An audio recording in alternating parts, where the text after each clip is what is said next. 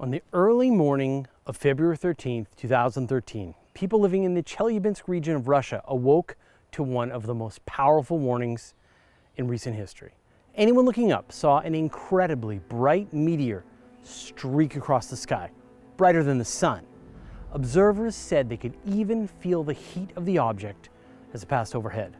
Moments later, the shockwave arrived, smashing out windows across a huge region sending almost 1,500 people to the hospital with cuts and bruises. It was amazing that nobody actually died. But what was it? According to astronomers, the Chelyabinsk meteor was probably a space rock measuring about 20 meters or 60 feet across. It struck the Earth's atmosphere going almost 20 kilometers per second at such a low angle that it just detonated, raining down debris, but sparing the region the true devastation of this kind of impact.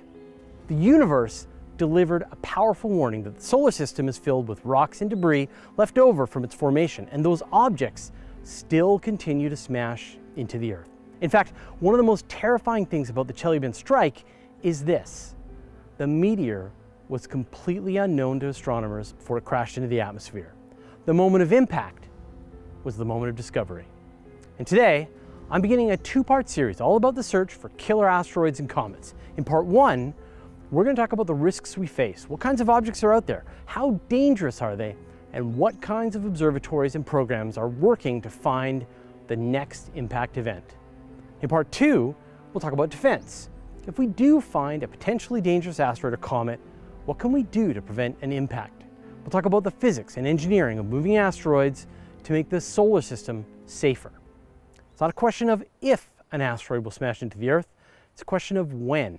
In fact, material from space is impacting our atmosphere all the time. According to NASA, about 100 tons of rock and dust gets added to the Earth every day.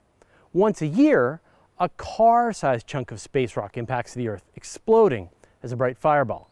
A Chelyabinsk-level event is thought to happen once every 60 years or so. In fact, there have been three other recorded events with that kind of energy release in the last century, including the Tunguska event.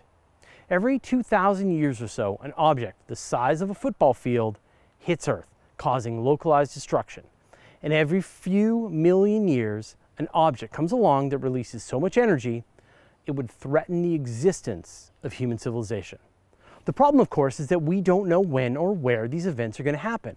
And it's this problem that astronomers are trying to solve first. Currently, we know of about 15,000 near-Earth asteroids in the solar system. Now, I'm not talking about the stuff of the asteroid belt, just the stuff that's orbiting dangerously close to our planet. Over the last few decades, several asteroid survey programs have been in operation, mostly ground-based automated telescopes that scan the sky night after night looking for anything that shifts its position.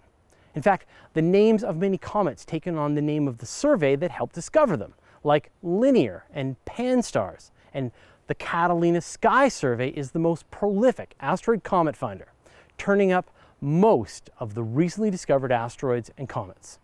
The repurposed WISE telescope, now NEOWISE, joined the search and turned up asteroid targets, but from space. These surveys are important because US Congress has mandated that NASA find 90% of the asteroids larger than 140 meters by 2020. And based on how things are going, it looks like these surveys will fail to meet this goal because of the difficulty doing comprehensive surveys of the sky. For every object that meets this 140 meter criteria, there are probably another 20 Chelyabinsk class objects out there. Not to mention an additional 1,000 10 meter class objects. All of them buzzing around up there. Now let's talk about devastation for a second. Just how bad would an asteroid strike be? Here is a great calculator that lets you hit the Earth with the impactor of your choosing and see what the results would be. Hit my hometown of Courtenay, British Columbia, with a 140 meter asteroid, and I would have a very bad day. In fact, here's another simulation that puts it all on a handy map for you. That brown crater is the center of my city. I live on the edge of it, about one kilometer from the epicenter. A crater 1.1 kilometers wide and more than 200 meters deep. Most of the city is now a smoldering ruin. Multi-story buildings are flattened. Wooden houses like my own are torn apart, bridges collapse, and cars and trucks are thrown around like rag dolls. Also, my house's windows might shatter. Now that's insult to injury. Now give this a try for your own hometown. Try different options. Find the apocalypse that's right for you. So yes, please find these asteroids. Thanks. In order to quantify the threat we face from asteroids, astronomers developed the Torino scale. Every near-Earth object gets a number from 0 to 10. 0 is no risk. 10 is a certain impact from an asteroid with a global impact that could wipe out human civilization. The kind of event that happens every 100,000 years or so.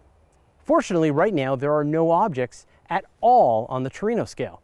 Occasionally, an asteroid is discovered it gets put on the scale for a few weeks or months until follow-up observations predict its orbit with more precision. And so far, the highest an object has ever been rated is level 4, and that was asteroid Apophis, which astronomers thought might get kicked into a dangerous orbit in 2029. Following observations have dropped that risk back down to zero. Whew. So in a moment, I'm going to talk about the various missions and observatories in the works to pick up the pace in asteroid detection. But first, I'd like to thank Howard Geidelson, Michael Shee, Roman Gieber, Dominic Santerre, and the rest of our 760 patrons for their generous support. If you love what we're doing and you want to get on the action, head over to patreon.com slash universe today. As I said before the break, the pace of asteroid discovery isn't keeping up with the goal of finding all the dangerous space rocks by 2020. In order to kick things up a notch, there are several new observatories and spacecraft in the works by both space agencies and private organizations. So let's look at some of these ideas. In a previous video, I talked about the Large Synoptic Survey Telescope, currently in construction in Chile. And if all goes well, it'll be online in 2021, scanning the entire visible sky every few nights. Asteroids aren't its focus, but it'll be turning up all kinds of objects, explosions, and events. And it'll help astronomers find anything that changes in the night sky, including the position of deadly space rocks. LSST will be capable of finding objects as dim as 24.5 magnitude in a 30 second image, which means it'll be able to find asteroids which are 140 meters across all the way out to the main asteroid belt. In fact, the observatory could account for 60 to 90% of all the potential hazardous objects all on its own. It would give us one to three months of warning for a 45 meter object on a collision course with Earth and find comets years in advance, enough time for Bruce Willis to gather together his crew of surly oil drillers. Now that's impressive, and you can see why I'm excited for this observatory. One recently proposed mission from a company called Transastra is the Sutter Survey Telescope, named after a discovery in California that led to the famous gold rush. The Sutter telescope would actually be three separate and relatively tiny satellites orbiting around the Sun about 95% of the Earth's orbit. They would be positioned 120 degrees apart from each other, giving them a complete view of the solar system at all times with no blind spots. Transastra estimates that the Sutter Survey Telescope would be capable of finding the same number of asteroids as LSST, but for a fraction of the price. The entire constellation of tiny satellites could be built for $50 million. And if the basic version is successful, Transastra has proposed the Sutter Extreme mission. Now this would boost the discovery rate by a factor of 24 and turn up about 7,500 asteroids a year. In 2013, the nonprofit B612 Foundation, led by astronauts Ed Lu and Rusty Schweickart, began fundraising for the Sentinel Space Telescope. If all goes well, the satellite will be launched in 2018 into a Venus-like orbit, all on its own. Sentinel should be capable of identifying 90% of Earth-crossing asteroids larger than 140 meters. So where do we stand? Right now it looks like the US Congress mandate of finding the vast majority of dangerous space rocks is going to fail. 2020 will pass and we still won't know where the deadly asteroids are. That said, it does look like there are a group of ground and space-based observatories that'll get us closer to the answer. When will the next deadly asteroid hit us? Where would you put asteroid detection in Earth's list of priorities? Do you Think we're doing enough to protect the planet from an asteroid strike, or the risks just too low to take it that seriously? In this episode, we talked about the threats we face from space rocks and what organizations and missions are working to find killer space rocks. In our next episode, we look at what can be done about them. What are all the proposed strategies for stopping asteroids from smashing into the Earth? That's next time For this week's playlist, we're going to be hunting for asteroids, of course. First, a compilation of videos about the Chelyabinsk impact that happened a couple of years ago. Then a video about just how powerful the Tunguska impact was. Astronaut Ed Lu from the B612 Foundation talks about the threat of asteroids. Curious Droid talks about preventing asteroid impacts. And finally, a lecture about the Yucatan impact 65 million years ago. That starts right now. Now, currently, we know of about one, oh,